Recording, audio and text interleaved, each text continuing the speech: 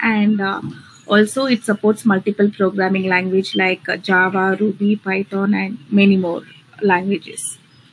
So let us today uh, talk about the WebDriver architecture. There is WebDriver architecture 3 and 4. So 3 is used with JSON wire protocol and uh, WebDriver 4 architecture. It is used with um, uh, W3C protocol. So let me uh, explain about uh, WebDriver architecture 3. So before that, let us know what actually this uh, Selenium WebDriver is. So it is a, uh, you know, the Selenium WebDriver is a set of open source APIs which will provide the capability to interact with any of the modern web browser and then uh, in turn to automate the user action with that browser. So uh, it is essentially a, a, component of the Selenium fam family. So Selenium, um, we know uh, it is not an independent tool.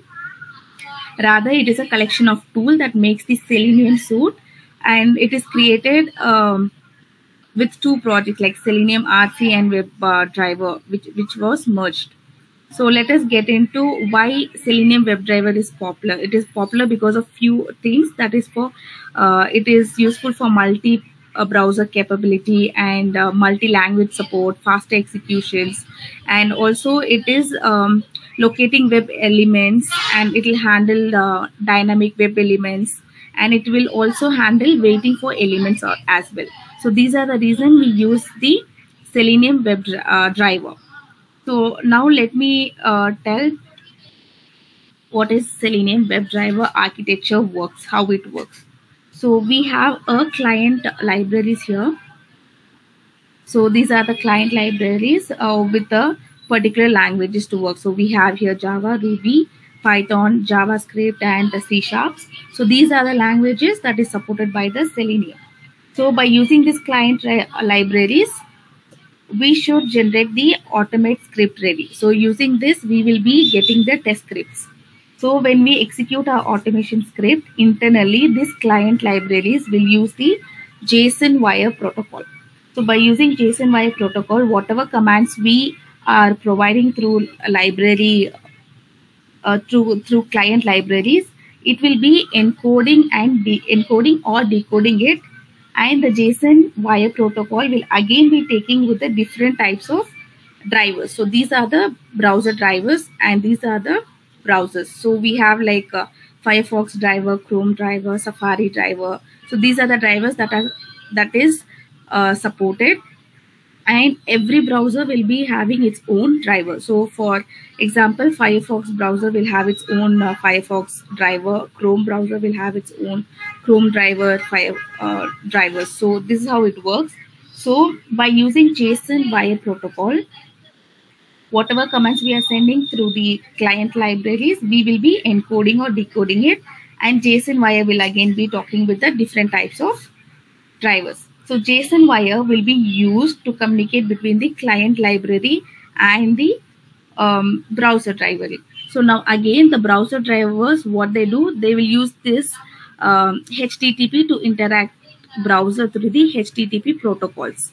So this is how they interact through the HTTP protocols. So every browsers have its own particular driver. That is the, uh, this is called the browser specific drivers. So these uh, browser specific driver will communicate through HTTP protocols to the browser. And these client libraries will communicate with the drivers using JSON wire protocols. So here the main thing is encoding and decoding using JSON wire protocol. And these web uh, web browser, I mean browser driver and the uh, real browser, what they actually use is W3C. That is the one which they use to, to communicate. So this is how uh, the uh, architecture of Selenium 3.8, still 3.8, this is how it was worked and this is how it was followed. So in Selenium WebDriver architecture 4, instead of JSON wire protocol, W3C protocol was been uh, introduced. So let's see about that. So they introduced a new protocol which is W3C protocol. So why W3 was actually introduced? And what are its features or advantages uh, standards so we know that as i said in browser driver and browser they will uh, they were using the they were using the uh, W3C uh, to the communicating. So whatever browser and drivers we are having, all these are developed by using W3C uh, proto standards, W3C standards. So till Selenium 3.8, client libraries and JSON wire protocols were not in uh, W3C protocol. So because because basically uh, the command which we send from client libraries, these will encode or decode it, and they will request to the particular driver or browser in the uh, JSON uh, wire protocol. Whereas in this now since even the browser driver drivers and browser they are having W3C Pro standards to communicate. Even using Selenium script and this, it will be very easy to communicate. So they'll not be like encoding or decoding in uh, W3C protocols. So now uh, universal drivers, if you see browsers are using W3C standard protocols. And when we use W3C standard protocol as well instead of JSON wire protocol, everything will become stable and constant. So now we, uh, when all the client libraries, uh, or libraries or drivers and uh, browsers, they follow W3C protocol. So it will be more easy and stable. And in W3C, encoding and decoding is not required. Whereas in uh, um, JSON wire protocol, it is required. So the implementation of W3C protocol, the advantages are stability because all are using the same protocol and there will be no, uh, and it will not be like inconsistency. So this is why the new features are and in this the new features are also added. So in uh, short we can say that in selenium 4 architecture is different. And what will be the difference? In previous selenium 3 we use uh, json uh, json wire pro uh, protocol. And in selenium 4 instead of json wire protocol we use w3c uh, protocol so what is the major differences? Um, two things. One is when JSON wire protocol is used, here encoding and decoding is required when we are sending the request to the drivers. But when we are using W3C protocol, since all the uh, protocols are in same standard, so here encoding and decoding is not required and the communication becomes faster and will also be stable and can avoid the inconsistent scenarios. So this is the main difference. So this is what it is written. So Selenium is not a single tool. So whatever I explained, it is in the same thing. So it is supported and provides uh, structure and tools for QA who are who can write code based automation as well codeless automation. So here WebDrivers will provide a code based mechanism of automation.